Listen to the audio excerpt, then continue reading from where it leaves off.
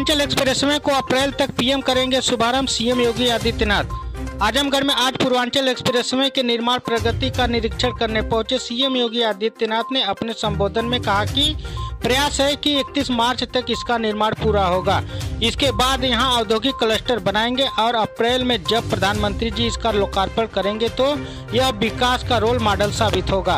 और यहाँ के युवाओं के लिए रोज़गार के अवसर प्राप्त होंगे तो वहीं दूसरी तरफ़ आजमगढ़ के सठियाव क्षेत्र में मोजारापुर में भी निरीक्षण करने पहुँचे सीएम और अधिकारियों के संग बैठक की, जिसमें पूर्वांचल एक्सप्रेसवे के निर्माण की कार्यदायी संस्था यूपीडा के अध्यक्ष अवनीश अवस्थी मंडलायुक्त विजय विश्वास पंत डीआईजी सुभाष चंद्र दुबे डीएम और एसपी भी उपस्थित हुए थे। देखिए, पूरी खबर पवन पुरैया न्यूज़ पर, ज्ञानेंद्र चतुर्वेदी के साथ, सतीश चौहान, आजमगढ़, उत्तर प्रदेश। करेंगे तो दुनिया देखेगी कि 18 में जिस एक्सप्रेस वे का निर्माण संपन्न हुआ, प्रारंभ हुआ था, तीन साल का लक्ष्य था, और वैश्विक महामारी कोविड के बावजूद तीन साल से पहले ही हम इस एक्सप्रेस वे को जनता को समर्पित करते रहे हैं। विकास का ये मॉडल देश और दुनिया के लिए आकर्षण का केंद्र बनेगा और पूर्व की विकास की संभावनाओं की एक आशा की किरण है। आज से ढाई वर्ष पहले प्रधानमंत्री मोदी जी ने इसी आजमगढ़ में इस एक्सप्रेस वे का शिलान्यास किया था। अनुमान करिए कि पिछले दो ढाई वर्ष के दौरान पूरी तस्वीर आपको बदलती हुई दिखाई दे रही होगी। ये आपके विकास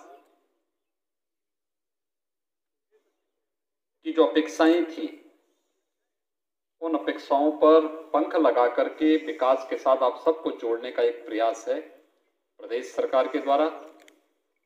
और इस दिश से आज मैं स्वयं भी इस एक्सप्रेस वे के निरीक्षण के कार्यक्रम के साथ गाजीपुर से ही चला हूँ। गाजीपुर, मऊ, आजमगढ़ होते हुए फिर हम लोग आगे बढ़ रहे हैं। हम सबको इस बारे में ध्यान रखना होगा कि विकास ही वास्तव में हम सबके जीवन में परिवर्तन लाएगी। और आजमगढ़ अनुमान करिए। आज से तीन वर्ष, चार वर्ष पहले तक आजमगढ़ के नाम से लोग कांपते थे।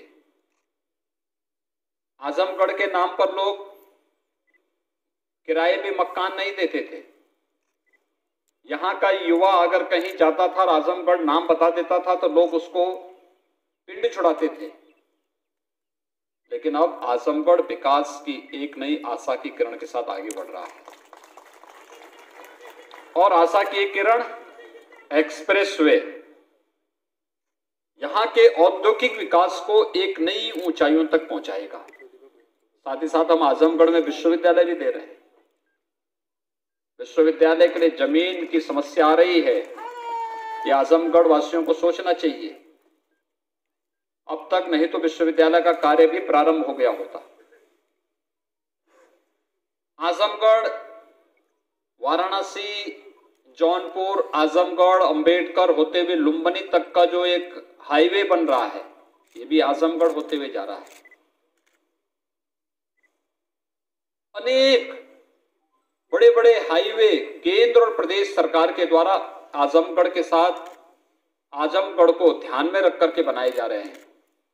ये इसलिए जिससे विकास की योजनाओं के माध्यम से हम यहाँ की अपेक्षाओं और जन आकांक्षाओं की पूर्ति करने में सफल हो सकेंगे। मेरा आप सबसे यह अपील होगा, विकास हमारी प्राथमिकता होनी चाहिए और हम सब सकारात्मक सहयोग इसके साथ करें।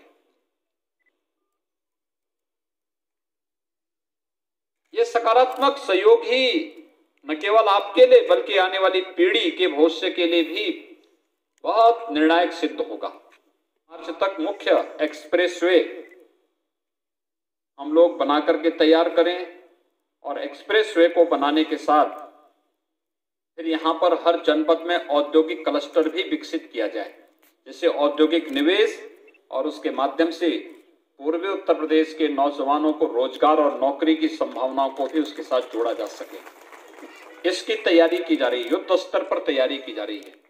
और उसी से मैं यहाँ पर आपके बीच में इस एक्सप्रेस वे के निरीक्षण के लिए आया हूँ। आप सभी इस अवसर पर आए हैं। आप सबका मैं हृदय से अभिनंदन करता हूँ।